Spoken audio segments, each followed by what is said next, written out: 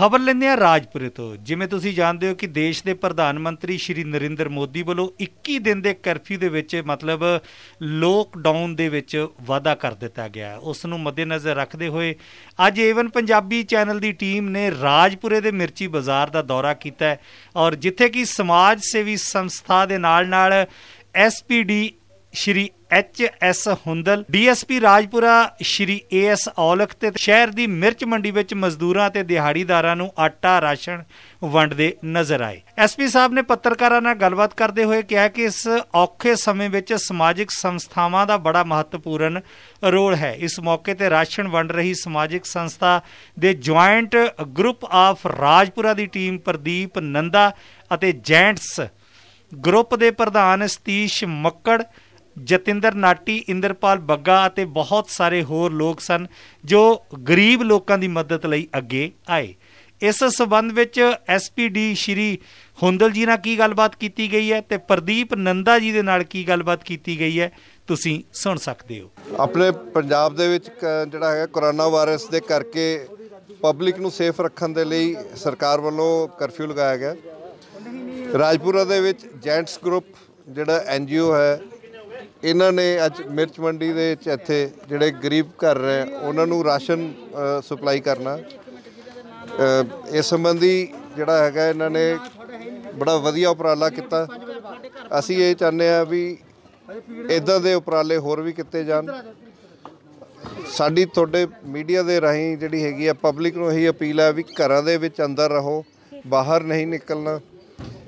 ਜੇ ਤੁਸੀਂ ਘਰ ਚੋਂ ਤਾਂ ਤੁਸੀਂ ਸੇਫ ਹੋ। ਬਾਹਰ ਨਿਕਲ ਕੇ ਕਿਸੇ ਨੂੰ ਵੀ ਪ੍ਰੋਬਲਮ ਆ ਗਈ ਤਾਂ ਇਹ ਬਹੁਤ ਜਲਦੀ ਫੈਲਦੀ ਹੈ। ਆਪਾਂ ਨਹੀਂ ਚਾਹੁੰਦੇ ਪਟਿਆਲਾ ਜ਼ਿਲ੍ਹੇ ਦੇ ਵਿੱਚ ਇਦਾਂ ਦੀ ਕੋਈ ਪ੍ਰੋਬਲਮ ਆਵੇ।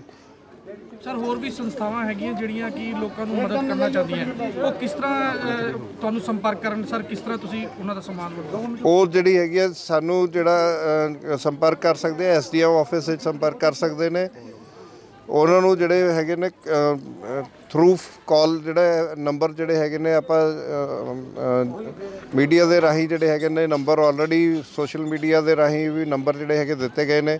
ਉਹਨਾਂ ਨੰਬਰ ਸੇ ਉਹ ਕੰਟੈਕਟ ਕਰਕੇ ਐਸਡੀਐਮ ਸਾਹਿਬ ਨਾਲ ਡੀਐਸਪੀ ਸਾਹਿਬ ਨਾਲ ਟਾਈ ਅਪ ਕਰ ਸਕਦੇ ਨੇ ਤੇ ਉਹਨਾਂ ਨੂੰ ਅਸੀਂ ਜਿਹੜਾ ਹੈਗਾ ਫੈਸਿਲਿਟੇਟ ਕਰਾਂਗੇ ਤਾਂ ਕਿ ਉਹ ਰਾਸ਼ਨ ਜਿਹੜਾ ਹੈਗਾ, ਜਿਹੜੀ ਜ਼ਰੂਰਤ ਚੀਜ਼ ਹੈ, ਉਹ ਪਬਲਿਕ ਨੂੰ ਆਮ ਗਰੀਬ ਇਸ ਦੇ ਬਾਰੇ ਤਾਂ ਪਟਿਆਲੇ ਉੱਥੇ ਐਡਮਿਨਿਸਟ੍ਰੇਸ਼ਨ ਵੱਲੋਂ ਹੀ ਡਿਸਾਈਡ ਹੋਊਗਾ ਵੀ ਕਿੰਨੀ ਢਿੱਲ ਦਿੱਤੀ ਜਾਣੀ ਹੈ। ਫਿਲਹਾਲ ਜਿਹੜਾ ਹੈਗਾ ਇਹ ਕੀਤਾ ਜਾ ਰਿਹਾ ਵੀ ਰਾਸ਼ਨ ਮੈਡੀਸਿਨਸ ਜਿਹੜੇ ਆਰਮ ਜਿਹੜੀਆਂ ਹੈਗੀਆਂ ਨੇ ਸਬਜ਼ੀਆਂ ਜਿਹੜੀਆਂ ਹੈਗੀਆਂ ਨੇ ਇਸ ਤੋਂ ਇਲਾਵਾ ਜਿਹੜਾ ਦੁੱਧ ਤੇ ਜਿਹੜੇ ਵੈਟਨਰੀ ਮੱਝਾਂ ਵਗੈਰਾ ਦੇ ਲਈ ਆ ਹੋਰ ਉਹਦੇ ਲਈ ਜਿਹੜਾ ਹੈਗਾ ਉਹਨਾਂ ਦੀ ਫੀਡ ਵਗੈਰਾ ਹੈਗੀ ਆ ਤੇ ਪੋਲਟਰੀ ਦੇ ਲਈ ਫੀਡ ਹੈ ਇਹ ਸਪਲਾਈ ਕੀਤੀ ਜਾ ਰਹੀ ਹੈ ਡੋਰ ਟੂ ਡੋਰ ਸਾਡੀ ਪੂਰੀ ਕੋਸ਼ਿਸ਼ ਚੱਲ ਰਹੀ ਹੈ ਕਿ ਡੋਰ ਟੂ ਡੋਰ ਅਸੀਂ ਸਾਰੇ ਸ਼ਹਿਰ ਜਿਹੜਾ ਪ੍ਰੋਪਰਲੀ ਸਾਰਾ ਰਾਸ਼ਨ ਵਗੈਰਾ ਦੁੱਧ ਵਗੈਰਾ ਇਹਨਾਂ ਨੂੰ ਪ੍ਰੋਪਰਲੀ ਡਿਸਟ੍ਰੀਬਿਊਟ ਕੀਤਾ ਜਾਵੇ। ਕੁਝ ਲੋਕ ਜੋ ਗਾਈਡਲਾਈਨਸ ਨੂੰ ਨਹੀਂ ਸਵੀਕਾਰ ਰਹੇ ਉਹਨਾਂ ਵਾਸਤੇ ਕੀ ਕਾਰਵਾਈ ਹੋਊਗੀ? ਅਸੀਂ ਉਹਨਾਂ ਨੂੰ ਅਪੀਲ ਕਰ ਰਹੇ ਹਾਂ ਬਾਰ-ਬਾਰ ਅਪੀਲ ਕਰ ਰਹੇ ਹਾਂ ਵੀ ਆਪਣੇ ਘਰਾਂ ਦੇ ਵਿੱਚ ਰਹੋ ਕਰਫਿਊ ਜਿਹੜਾ ਹੈਗਾ ਕਰਫਿਊ ਨੂੰ ਪ੍ਰੋਪਰਲੀ ਮੇਨਟੇਨ ਕਰੀਏ। ਤੇ ਇਸ ਦੇ ਨਾਲ ਆਪਣੀ ਸੇਫਟੀ ਹੈ। ਜੇ ਕੋਈ ਫਿਰ ਵੀ ਨਹੀਂ ਮੰਨੂਗਾ ਤਾਂ ਉਹਦੇ ਖਿਲਾਫ ਜਿਹੜਾ ਹੈਗਾ ਕਾਰਵਾਈ ਕਰਾਂਗੇ। ਆਲਰੇਡੀ ਜਿਹੜਾ ਹੈਗਾ ਕਈ ਮੁਕੱਦਮੇ ਰਜਿਸਟਰ ਕੀਤੇ ਗਏ ਪਟਿਆਲਾ ਜ਼ਿਲ੍ਹੇ ਦੇ ਵਿੱਚ ਤੇ ਅਸੀਂ ਉਹਨਾਂ ਦੇ ਖਿਲਾਫ ਪ੍ਰੋਪਰਲੀ ਲੀਗਲ ਕਾਰਵਾਈ ਕਰਾਂਗੇ। ਮੈਂ ਤੇ ਇਹ ਕਹਿ ਰਿਹਾ, ਜਿਹੜਾ ਕਰੋਨਾ ਵਾਇਰਸ ਦੇ ਵਿੱਚ ਹਫੜਾ ਦਫੜੀ ਬੱਚੀ ਵੀ ਹੈ ਕੱਲ ਕੱਲ ਦੀ ਸਾਨੂੰ ਬੰਦ ਦੀ ਕਾਲ ਹੈਗੀ ਹੈ ਉਹਦੇ ਵਾਸਤੇ ਅਸੀਂ ਅੱਜ ਹੀ ਸਾਰਾ ਦਿਨ ਬੰਦ ਕਰਾਉਣ ਲੱਗੇ ਆ, ਤਾਂ ਕਿ ਜਿਹੜਾ ਮਾਹੌਲ ਬਾਜ਼ਾਰ 'ਚ ਖਰਾਬ ਹੋ ਰਹੇ ਨੇ, ਉਹਦੇ ਨਾਲ ਬੰਦੇ ਆਪਣੇ ਘਰ ਬਹਿ ਕੇ ਆਰਾਮ ਕਰ ਸਕਣ, ਜਿਹਦੇ ਨਾਲ ਕੋਈ ਦਿੱਕਤ ਪਰੇਸ਼ਾਨੀ ਨਾ ਆਵੇ। ਤੇ ਆਪਣੇ ਮੈਂ ਇਹ ਸਾਰਿਆਂ ਨੂੰ ਮੈਸੇਜ ਦਿਆਂਗਾ ਕਿ ਆਪਣੇ ਹੱਥ ਪੈਰ ਧੋ ਕੇ ਰੱਖੋ ਹੱਥ ਧੋ ਕੇ ਰੱਖੋ ਬਾਰ-ਬਾਰ ਕੋਈ ਸਿਰ ਹੱਥ ਮਿਲਾਓ ਨਾ। ਸੈਨੀਟਾਈਜ਼ਰ ਯੂਜ਼ ਕਰੋ ਔਰ ਦੁਕਾਨਾਂ ਬੰਦ ਕਰਕੇ ਆਪਣੇ ਘਰ 12 ਘੰਟੇ ਘੱਟੋ ਰੈਸਟ ਕਰੋ। ਜਿਸ ਤਰ੍ਹਾਂ ਉਹਨਾਂ ਨੇ ਕਿਹਾ। ਇਹ ਕਿੰਨੇ ਦਿਨ ਵਾਸਤੇ ਫਿਲਹਾਲ ਬੰਦ ਕਰਾ ਰਹੇ ਹੋ? ਇੱਕ ਸ਼ਨੀਵਾਰ ਤੇ ਇਤਵਾਰ ਤੇ ਇਹਦੇ ਚ ਲੋਕਾਂ ਨੂੰ ਕੀ ਅਪੀਲ ਕਰਦੇ ਹੋ ਤੁਸੀਂ? ਇਹ ਕਿ ਆਪਣੇ ਘਰ ਬਹਿ ਕੇ ਸਾਰੇ ਦੁਕਾਨਾਂ ਰੈਸਟ ਕਰੋ ਸਾਰੇ ਬੰਦੇ। ਸਾਰੇ ਵਪਾਰੀਆਂ ਦੀ ਸਲਾਹ ਦੇ ਨਾਲ ਸਾਰਾ ਕੰਮ ਹੋ ਰਿਹਾ ਹੈ। ਉਹ ਸਭ ਚਾਹੁੰਦੇ ਨੇ ਕਿ ਇਹ ਇੱਕ ਦੋ ਦਿਨ ਵਾਸਤੇ ਬਾਜ਼ਾਰ ਬੰਦ ਕਰਾਇਆ ਜਾਏ ਜਿਹੜਾ ਇਹ ਮਹਿੰਗੇ ਰੇਟਾਂ ਤੇ ਲੋਕ ਕਰਿਆਨਾ ਤੇ ਸਬਜ਼ੀਆਂ ਵੇਚ ਰਹੇ ਆ ਇਹਦੇ ਬਾਰੇ ਕੀ ਕਹੋਗੇ? ਇਹਨਾਂ ਦੀ ਕਾਰਵਾਈ ਕੀਤੀ ਜਾਏਗੀ ਜਿਹੜੇ ਲੋਕਾਂ ਨੂੰ ਗਲਤ ਕੰਮ ਕਰ ਰਹੇ ਨੇ ਜੋ ਜਾਇਜ਼ ਰੇਟ ਹੈ ਉਸ ਰੇਟ ਤੇ ਮਾਲ ਦੇਣਾ ਚਾਹੀਦਾ ਕਿਸੇ ਨੂੰ ਸਾਰੇ ਆਪਣੀ ਜਨਤਾ ਦੇ ਲੋਕਲ ਹੈਗੀ ਹੈ। ਇਹਨਾਂ ਨੂੰ ਲੁੱਟਣ ਦਾ ਕੋਈ ਤੁਪਸਾ ਨਾ ਬੰਦਾ ਹੈ ਜਿਹੜੇ ਬੰਦੇ ਗਲਤ ਕੰਮ ਕਰ ਰਹੇ ਇਹਨਾਂ ਸਾਰਿਆਂ ਦੀ ਕਾਰਵਾਈ ਕੀਤੀ ਜਾਏਗੀ। ਕੁਝ ਵਿਅਕਤੀ ਦੀ ਪਛਾਣ ਵੀ ਹੋਈ ਹੈ ਇਸ ਬਾਰੇ?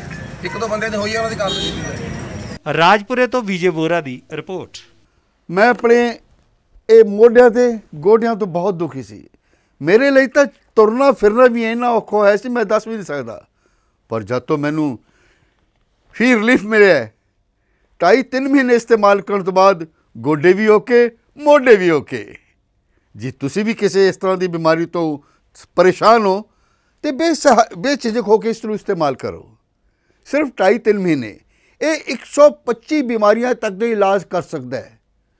ਫਿਰ ਰਿਲੀਫ, ਹਮੇਸ਼ਾ ਯਾਦ ਰੱਖੋ ਬਸ। ਕੁਝ ਦਿਨਾਂ ਤੋਂ ਮੈਨੂੰ ਬਾਲਾਂ ਦੀ ਬੜੀ ਸਮੱਸਿਆ ਸੀ। ਮੇਰੇ ਬਾਲ ਝੜਨੇ ਸ਼ੁਰੂ ਹੋ ਗਏ ਸੀ। ਮੈਨੂੰ ਮੇਰੇ ਦੋਸਤ ਨੇ ਆਇਲ ਫੀ ਰਿਲੀਫ ਵਾਲੇ ਦੱਸਿਆ। ਮੈਂ ਇਹ ਤੇਲ 3 ਕੁ ਮਹੀਨੇ ਲਾਣਾ ਆਪਣੇ ਸਿਰ ਤੇ ਅਪਲਾਈ ਕੀਤਾ। ਇਹ ਬਿਲਕੁਲ ਆਯੁਰਵੈਦਿਕ ਤੇਲ ਹੈ, ਇਹਦਾ ਕੋਈ ਸਾਈਡ ਇਫੈਕਟ ਨਹੀਂ ਹੈ। ਤੇ ਮੇਰੇ ਵਾਲ ਜਿਹੜੇ ਗੰਜਪਣ ਪੈਣਾ ਸ਼ੁਰੂ ਹੋ ਗਿਆ ਸੀ, ਉਹ ਦੁਬਾਰਾ ਆਉਣ ਲੱਗ ਗਏ।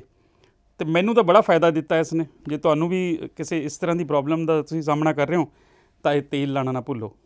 ਕਿਤੇ ਨਾ ਕਿਤੇ ਅਸੀਂ ਆਪਣੇ ਬਾਲਾਂ ਕਰਕੇ ਸ਼ਰਮ ਫੀਲ ਕਰਦੇ ਹਾਂ ਕਿ ਕਿਤੇ ਸੋਸਾਇਟੀ 'ਚ ਬੈਠੇ ਹਾਂ ਕਿ ਕੋਈ ਮਜ਼ਾਕ ਨਾ ਕਰ ਰਿਹਾ ਹੋਵੇ ਪਰ ਥੈਂਕਸ ਟੂ ਫ੍ਰੀ ਲੀਵ ਜਿਨੇ ਮੇਰਾ ਇਹ ਕੌਨਫੀਡੈਂਸ ਬਿਲਡ ਕੀਤਾ, ਜਿਹਦੇ ਲਗਾਨ ਨਾਲ ਮੈਂ ਮਾਰਕੀਟ 'ਚ ਹੁਣ ਬੜਾ ਹੀ ਕੌਨਫੀਡੈਂਟ ਹਾਂ ਔਰ ਇਹਦੇ ਨਾਲ ਮੈਨੂੰ ਬੜਾ ਫਾਇਦਾ ਹੋਇਆ ਤੇ ਮੈਨੂੰ ਸਰਵਾਈਕਲ ਦੀ ਵੀ ਦਿੱਕਤ ਸੀ ਤੇ ਉਹਦੇ ਨਾਲ ਵੀ ਮੈਨੂੰ ਬੜਾ ਰਿਲੀਫ ਮਿਲਿਆ। ਇਹ ਯੂਜ਼ ਕਰੋ ਤੇ ਮੈਂ ਪ੍ਰੈਕਟੀਕਲ ਯੂਜ਼ ਕਰ ਰਿਹਾ।